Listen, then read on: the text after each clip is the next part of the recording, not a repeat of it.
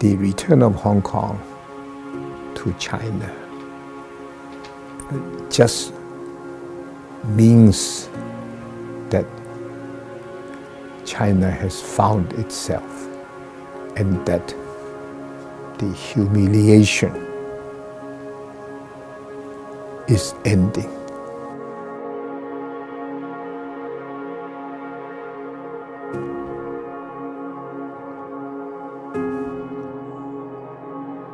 Mr. Tung, I would like to ask you about the situation in Hong Kong today, the reasons behind that, and also the future of Hong Kong. But can we talk first about the history, where that comes in? What is Hong Kong and some of the events that may have shaped its current status today? Actually, it was way back some 2,000 years. Hong Kong was already part of China. In those days, it was a Qing dynasty. In the 1800s, there were several wars between United Kingdom and China. It's known as the Opium War. So 176 years ago, this area was ceded to the British as a colony. This is really the, the history. And to many Chinese, this is not just ceding of the territory, but also it's a war about opium.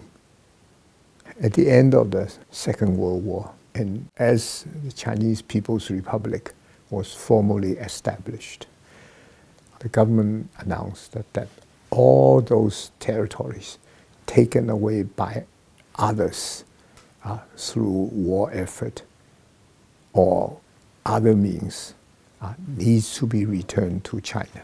And this, of course, applies to Hong Kong.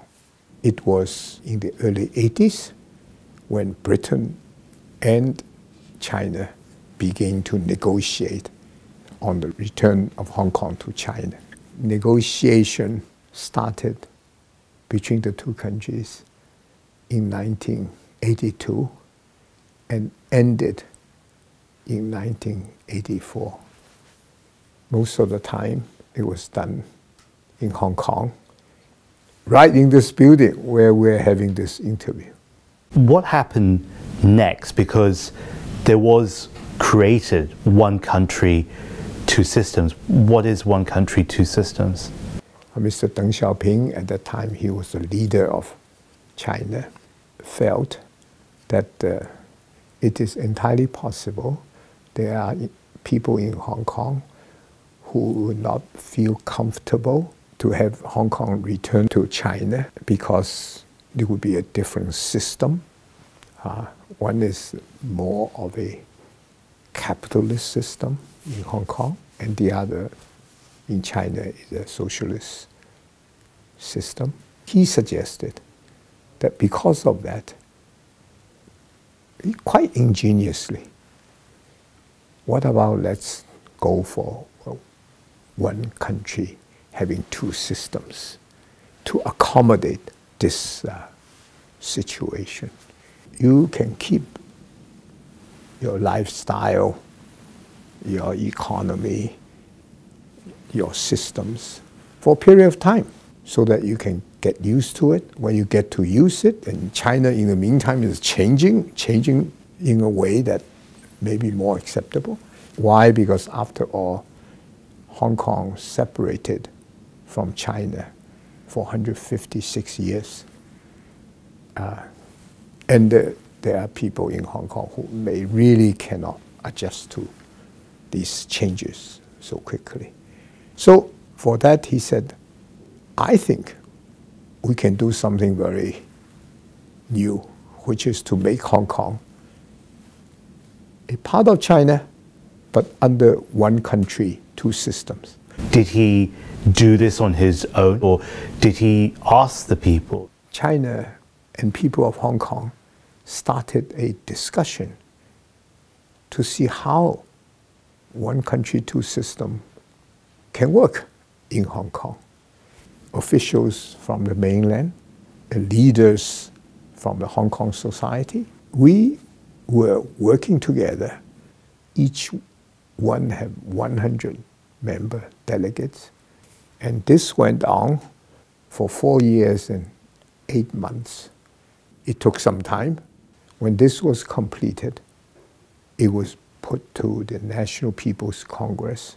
It became a basic law, and this basic law, with the one country, two system characteristic, becomes the constitutional framework for Hong Kong. And I have to tell you, over the last 20 years, basic law has been very good for Hong Kong. In every respect, we, we got it right. I remember on July 1st, 1997, being at home watching you on television as this huge event happened. What do you think was the underlying significance of 1997? Was it simply about the return of Hong Kong to China? No, no, it was not that, but to the hundreds and millions of Chinese people all around the world, and I should say over a billion, uh, 0.4 people in China. The return of Hong Kong to China just means that China has found itself and that the humiliation is ending. Yes, we got back the territory, but it is the humiliation of China to be defeated in an opium war and to have to concede, even though it's tiny, tiny territory, to another country. I think the humiliation ended on July 1st, midnight. And I, I was very honored to be, to be right in the middle of that.